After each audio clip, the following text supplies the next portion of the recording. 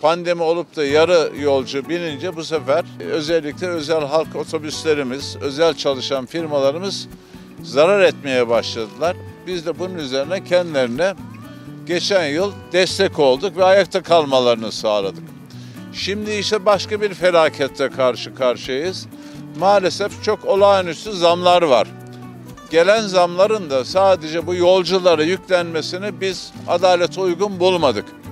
Dolayısıyla bunu da Ankara'nın tümüne yaymak için belediye meclisimizden aldığımız kararla toplu ulaşım esnafımıza maddi destek vermeye devam etme kararı aldık.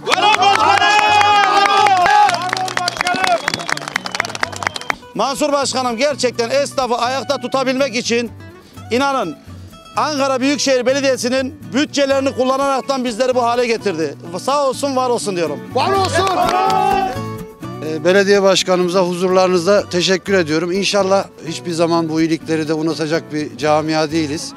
Türkiye genelinde sorumluluğu bizde biliyorsunuz. Diğer illere de örnek olur.